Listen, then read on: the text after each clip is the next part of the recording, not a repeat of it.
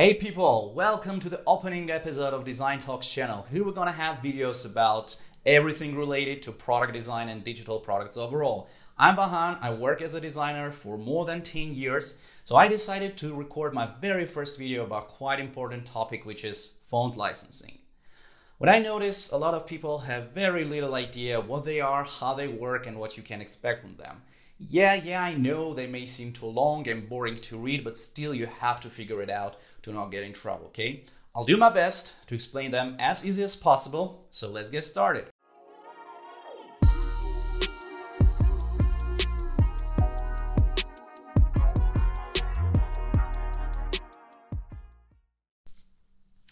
Let's start with defining what is font and how it's different from typeface. Okay, typeface, for example, Helvetica, is a set of glyphs connecting to each other with a unique consistent design, while font, for example Helvetica regular.otf, is a digital file which informs display or printer how exact character is supposed to be shown. As any software, font is protected by its license. There are many, so to make it a little easier, I decided to group all fonts into three main categories according to their licenses. The first one are the good old free fonts. The second one are commercial fonts, or the fonts we have to buy. And the third one, I call them partly free fonts They're the most troublemakers, so you have to definitely learn about them. Now let's dive into each of them. So, free fonts are very easy. You can do pretty much everything with them. Download, install it on your computer, use for any purpose, commercial or not commercial, for any sort of project, like it can be web design, brand design, or app design, etc., etc. But still, there's a one important thing you have to consider. Actually, not all fonts that you are able to download without paying any money are really free. Let's say some immoral websites are suggesting you to download some stolen commercial fonts, which is illegal. So if you are not sure, what you have to do is to go and check the font license. Doing it is not very hard. Just simply type that font's name in search engine, write font license near it, and only if you find out that that font run under the open font license or Apache free software license, only then you can start using it. Otherwise, I won't tell anyone, delete that stolen font ASAP. To avoid that kind of confusion, what I would suggest is to download them only from well-known trusted resources, such as Google Fonts, for example. They have a huge library of more than thousands, and all of them run under the Open Font license. Though Roboto runs on the Apache, but that's no matter. Open Font license doesn't have any usage limitations, but still it has some restrictions related to editing it. Yeah, editing them is legal, but you cannot give that new edited font completely new name. Let's say your name is Jenny and you've made your own version of Roboto, for instance. So you cannot name it something like Jenny Sans. Instead, call it something like Roboto Jenny, Roboto J, etc. Plus, you cannot sell that Roboto Jenny to anyone. Because you still are not the author of the font, you're just an editor, so that's it. If you meet any edited version of free font, there ain't no need to contact the author or editor, ask for permission. If the source font is free, then any edited version comes free for you too. That's easy. Yeah, that's very cool that we have free fonts, but as any freebie, the vast majority of them are not even made by professionals, and as a result, they don't have enough high quality.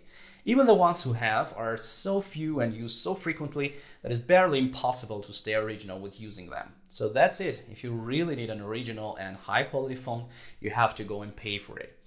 And still, a lot of people are getting in trouble because they mistakenly suppose that buying font is pretty much the same as buying a car right? You pay for a car, it becomes your property. You can do pretty much what you want with it, right? Like uh, resell it, give it someone else as a birthday gift, or park at your garage and never even write it. Font is very different. As any software, as any digital product, it still remains the intellectual property of designer or type foundry who produced it.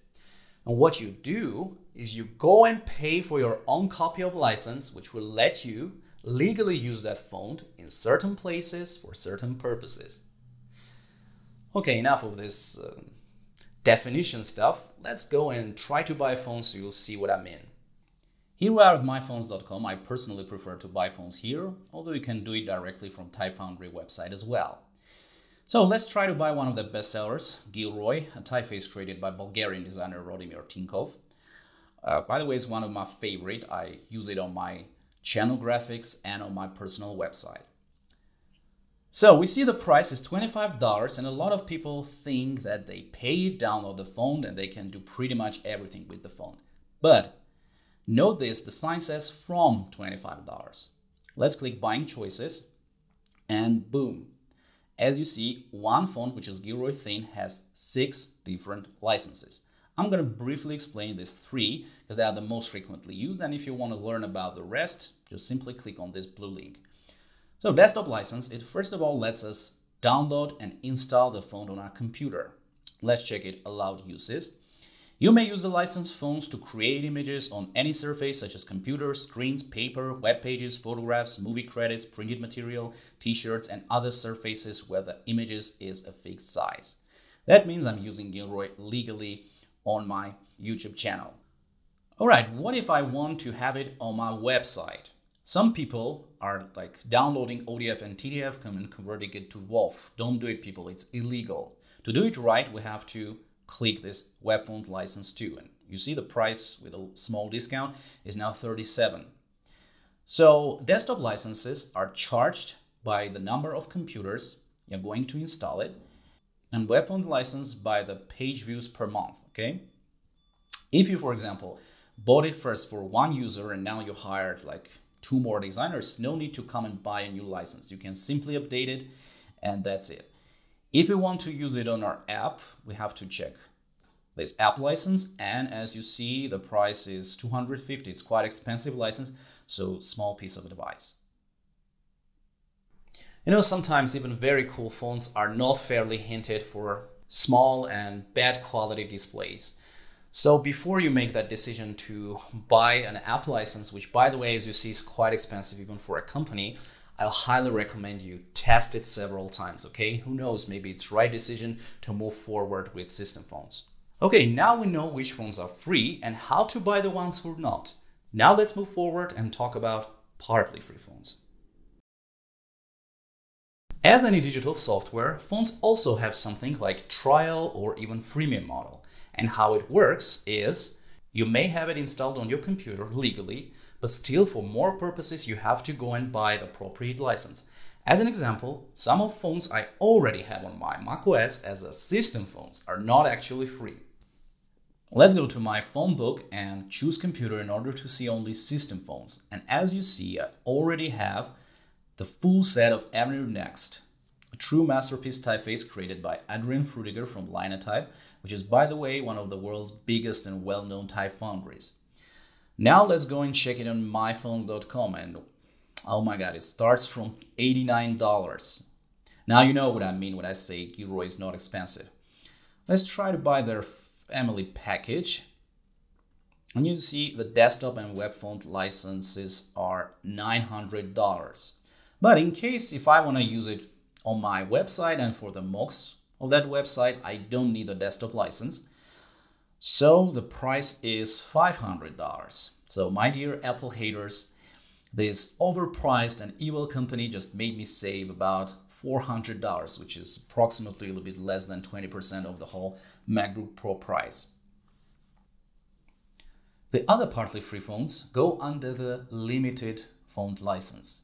The owner company may share the font for free, but still you cannot use it whenever you want, because it may have some usage limitations.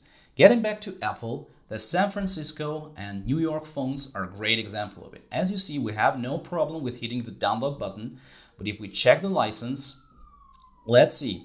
You may use the Apple fonts solely for creating mockups of user interfaces to be used in software products running on Apple's iOS or OS X operating systems as applicable. In other words, you cannot use it for your presentations, websites, etc only on the mocks of apps you design for Apple platforms. The other partly free fonts I would like to highlight are Adobe fonts. First of all, Adobe Fonts is a subscription library, which means you have to register in Adobe Creative Cloud in order to use them legally. And although they may seem free, they still have some limitations in usage. So let's go and check it. Can I use the fonts to create a logo or other images? Yes. Can I embed the fonts in a mobile or desktop applications I'm building? No. I'll put these links in the description and if you want to use Adobe fonts, I highly recommend to read them, okay? As you see, they're not completely free. Also, you can come and buy them in myfonts.com as you see. They are like starting from $35. That's it. As you see, nothing too complicated. Now you already know pretty much everything about the most frequently used font licenses. If you want to learn about all of them, like exclusive license, etc., I'll pop a link below. You can read it and be informed. As a conclusion, I want to say I tried type design a few years ago as a hobby. And what I can say is probably the hardest branch of graphic design. And I would even dare say the most important. You know, it's it's impossible to imagine not only the design, but the whole world without typefaces. And you know, the process of the creation is not an easy thing. Even a huge type foundry sometimes need years and years to create a high quality typeface. And you know, let's respect what these people do by observing the license requirements. Believe me, even the money you pay for very expensive up license, it doesn't go to some evil millionaire with a cigar in his mouth. These all are fellow designers and they really deserve to be fairly paid. Okay, and we even need to support them. We even need to support mostly non-Latin type designers, and that's it. I- am saying it because you know throughout all the video I was mentioning troublemakers, not getting trouble. But no, let's first of all respect type designers and not get in trouble too. That's it, people. If you like the video, give it thumb up, press subscribe button, bell, and all the other stuff that vloggers are usually saying. And yeah, if you think this topic is important, help this video to spread, share it. I'm new to this vlogger things, so yeah, I promise to do my best to record and publish a new video on every Tuesday. So see you in a week or two. Bye.